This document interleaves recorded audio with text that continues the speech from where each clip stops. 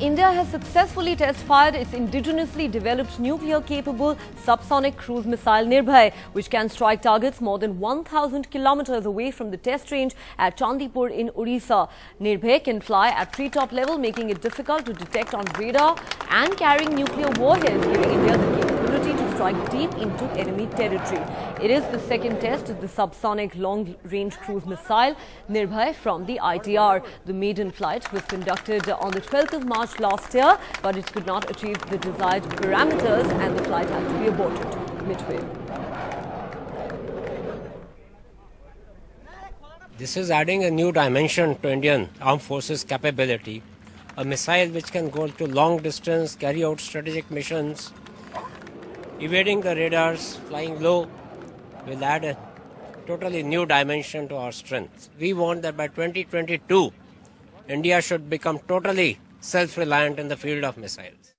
On a day when India launched its Nirbhay missile successfully, I have the young team of the which developed the missile, led by Sri Kumar.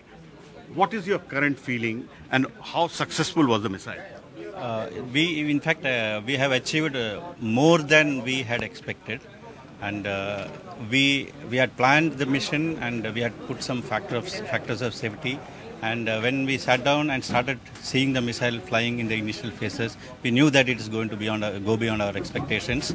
And uh, this missile holds a lot of promise in terms of its capabilities and in terms of the technologies that it has brought out. So, can the country expect better from you? Yes, sir. Once we have prom- we have delivered this, we are having much better products in our kitty. kitty. Most of the missiles are developed by men. What are you doing here? I am acquiring telemetry data, sir. The data coming from the aircraft, I am acquiring that and displaying the status of aircraft. So, whatever we are seeing on the plots, you were looking looking after that particular plots, and did the missile perform to on the plot you were expecting it to? Yes, sir. Do you feel lonely in this man's world? Of course not. of course not. We do software. Whatever you can't see is what we do.